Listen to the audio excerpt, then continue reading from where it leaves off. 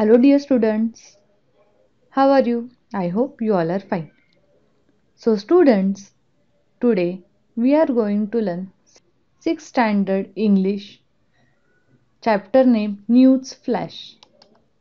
Welcome, students. You must have seen that your parents, elders, grandmothers, grandfather always see the news channels and also and read newspaper to get the information about the world.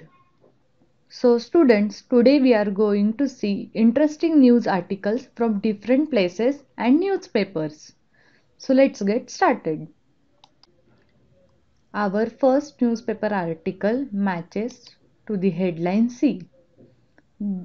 Dindim swims 8000 km every year to meet his friend. Rio de Janeiro, Tuesday, the 8th of March 2016. This is a heartwarming story of the friendship between a penguin and 71 year old Brazilian man called Joao Pereira de Souza. Joao is a retired bricklayer who lives in Proveta, a fishing village close to the coast of Rio de Janeiro. One day in 2011, he found a four month old Magellanic penguin on the beach near his house. The penguin was starving and was covered in oil.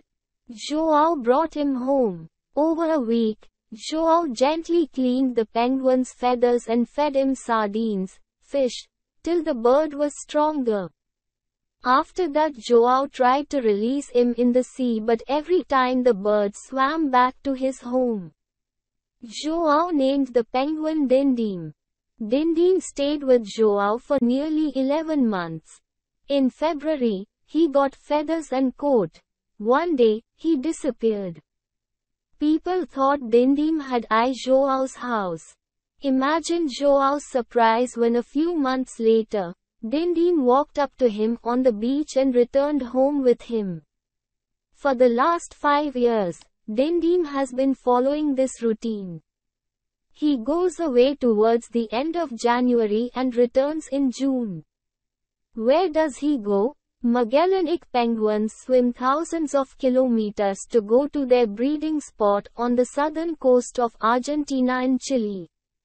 Every year Dindim makes the trip south, and swims home to stay with Joao again. You are not allowed to keep wild animals as pets in Brazil.